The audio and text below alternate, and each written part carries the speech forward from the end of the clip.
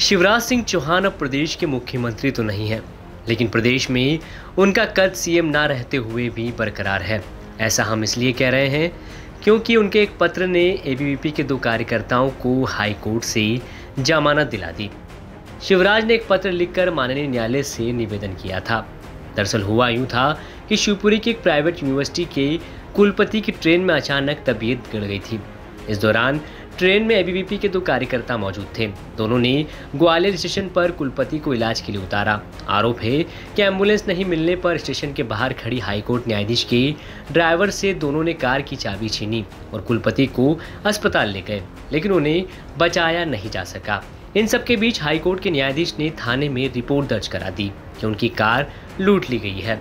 मामले में पुलिस ने चोरी और डकैती की धाराओं में एबीवीपी के दोनों छात्रों के खिलाफ केस दर्ज कर लिया। इसके बाद जिला अदालत में वकील ने जमानत अर्जी लगाई, जिसे कोर्ट ने खारिज कर दिया।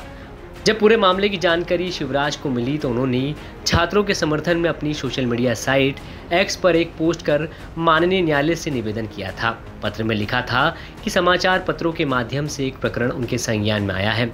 कुलपति रणजीत सिंह जी का दिल्ली से झांसी जाते समय ट्रेन में अचानक स्वास्थ्य खराब हो गया था। छात्रों ने न्यायाधीश की कार का उपयोग चाबी छीन कर किया, जिससे कुलपति को अस्पताल पहुंचाकर उन्हें शीघ्र चिकित्सा सुविधा उपलब्ध कराई जा सके। इस पूरे मामले में पुलिस द्वारा चोरी एवं डकैती की धाराओं के अंतर्गत दो छात्रों पर प्रकरण दर्ज कर लिए गए। ये एक अलग तरह का मामला है, जिसमें पवित्र उद्देश्य के साथ अपराध किया गया है।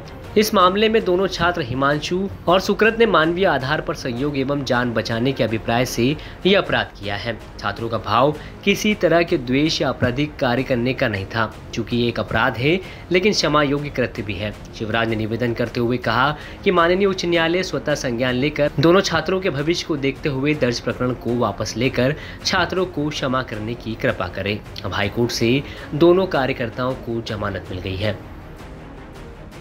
आज ये एक मानवता की जीत है, सेवा भावी कार्यकर्ताओं की जीत है, और ये जिस प्रकार से एक जन आंदोलन बना था, और यह एक न्याय की जीत आज हुई है। और न्यायपालिका ने मानवता दिखाते हुए दोनों हमारे जो कार्यकर्ता थे, उनको रिहा किया है, और विद्यार्थी परिषद के ये जो, पूरे, प्रदेश के कार्यकर्ता का अभिवादन, साथ ही मीडिया बंधु और समाज के सभी वर्गों का अभिवादन करती है और इस न्याय की लड़ाई को हम जीते हैं। बहुत वहीं आरोपी कार्यकर्ताओं के वकील ने मामले में कहा कि हमने मामले में कोर्ट के सामने अपना पक्ष रखते हुए कहा कि जो घटना हुई वो किसी की जान बचाने को लेकर थी। दोनों के खिलाफ पूर्व में भी कोई प्रकरण दर्ज नहीं है। इसी को देखते हुए कोर्ट ने उन्हें जमानत दे दी है। हमने माननीय न्यायालय के समक्ष जो पक्ष रखा कि इनके द्वारा जो भी कृत्य, जो घटनाक्रम हुआ है, वो एक व्यक्ति की जान बचाने को लेकर है। उन दोनों छात्रों के द्वारा और पूरे सहयात्रियों द्वारा ये प्रयास किया गया कि एक व्यक्ति की जान बचना चाहिए, चाहे उसके लिए जो संभव करना पड़े, वो किया है उन्होंने। और उन्हीं मानवीय मूल्यों को ध्यान में रखते हुए माननीय न्यायालय द्वारा ये पाया गया कि विधि के छात्र हैं, उनका कोई क्रिमिनल रिकॉर्ड नहीं है। और इस आधार पर जमानत स्वीकार की। बता दें कि मामले में दोनों छात्रों के लिए सीएम मोहन यादव भी एक्टिव हो गए थे। मोहन यादव ने कहा था कि वो छात्रों की पूरी मदद करेंगे। पुलिस गंभीर धाराएँ लगाने में जल्दबाजी ना करे। फ़िलहाल माननीय न्यायालय ने दोनों को जमानत दे दी है। ग्वालियर से सर्वेश पुरोहित की रिपोर्ट अभी तक।